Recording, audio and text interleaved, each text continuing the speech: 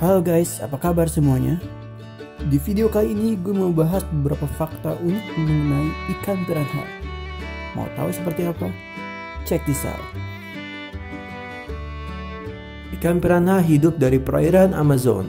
Nama piranha berasal dari bahasa suku Tupi yang artinya ikan bergigi. Piranha bisa mengeluarkan tiga suara khas untuk memperingatkan lawan-lawannya, seperti suara yang mirip dengan gonggongan anjing, suara mendengus atau bunyi yang dihasilkan oleh organ lembung renangnya. Piranha tertarik pada suara bising, percikan air, dan darah. Piranha bergerak secara berkelompok. Hal tersebut dapat membantu piranha dalam berburu sekaligus menghindari serangan predator lainnya. Piranha akan saling memakan sirip atau sisik piranha lainnya yang bertujuan untuk menambah protein.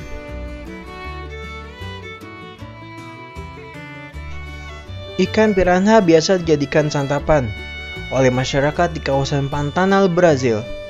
Mereka menjadikan piranha sebagai sup atau dipanggang di atas daun pisang dan dibumbui dengan lemon atau jeruk limau. Piranha menyerang ekor dan mata lawannya, sehingga efektif melumpuhkan mangsanya tersebut. Gigi piranha tajam dan kuat.